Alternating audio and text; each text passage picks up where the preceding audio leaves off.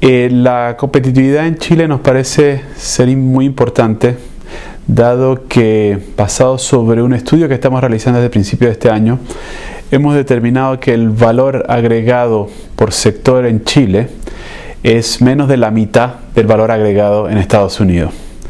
Para poder ser competitivo hay que obviamente mejorar esa capacidad de crear valor añadido. Ahora, ¿cuáles son las cosas que nosotros hemos aprendido sobre los ejercicios que hemos realizado a través del mundo de cómo mejorar la competitividad? Primero que nada, hay un tema alrededor de la innovación. Innovación para nosotros es la capacidad de crear nuevos productos, nuevos productos de, con alto valor añadido, o también eh, utilizar innovación para mejorar eh, la productividad, quiere decir el costo para producir cada cosa que se produce. Eh, luego, nos parece un factor importante en la competitividad es tener la regulación que permita una competencia saludable, lo que hace que la innovación sea útil para las que lo van a utilizar en las diferentes industrias y luego que esto haga que los precios bajen y por ende que la productividad vaya subiendo. Hay un tercer tema que es alrededor de la flexibilidad laboral.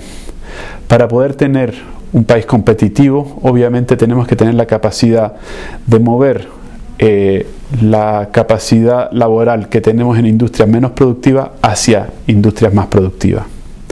A través de esto vamos a tocar toda la discusión del capital humano. Capital humano para nosotros quiere decir, por un lado, la educación, que puede ser primaria, básica, hasta la educación secundaria y universitaria, pero también la formación, quiere decir la capacidad de educar a los trabajadores en los diferentes sectores, lo que hace que mejoremos nuestros procesos y por ende la productividad del sector. Luego también tiene que existir el acceso al capital, quiere decir el capital que vamos a utilizar para crear nuevas industrias y por ende crear sectores más productivos.